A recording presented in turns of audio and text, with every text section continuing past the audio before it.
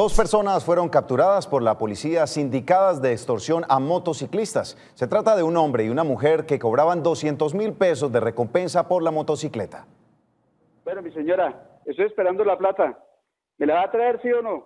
Ay, no, señor, por favor, denme un poquito de espera, que es que no tengo toda la plata, se la estoy consiguiendo. La policía les cayó de sorpresa a estas dos personas en momentos que intentaban cobrar una extorsión por una motocicleta que dos días antes habían robado de un parqueadero de Bucaramanga. Le decían que no eh, accediera a la extorsión que le estaban haciendo, iban a vender la motocicleta a otra persona que, con la cual presuntamente ya la tenían negociada y la motocicleta sería reducida o sería llevada a otra ciudad del país. Se trata de un hombre y una mujer que mediante una llamada planeaban cobrar una extorsión de 200 mil pesos a una mujer para devolverle su velocípedo.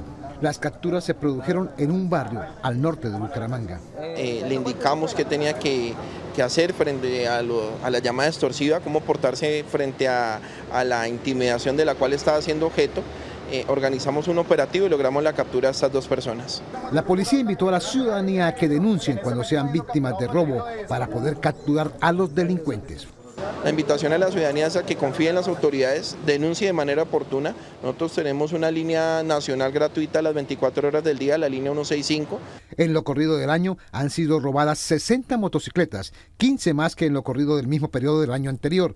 La policía está tras la pista de tres bandas organizadas responsables de estos robos.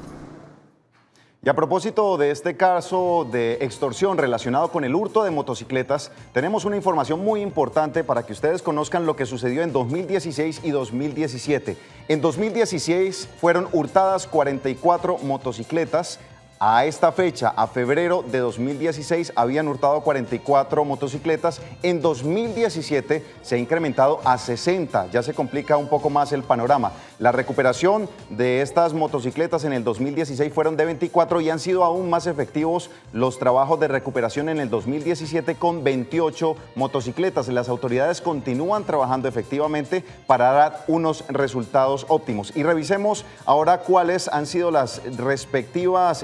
Eh, judicializaciones que se han realizado por parte de las autoridades. En el 2016, cuatro personas quedaron en libertad y, dos, y en el 2017, 11 detención carcelaria, una hasta el momento y dos en el 2017. Hasta ahora, a ninguno se les ha dado detención domiciliaria. Absolutamente todos tienen que responder en el centro penitenciario.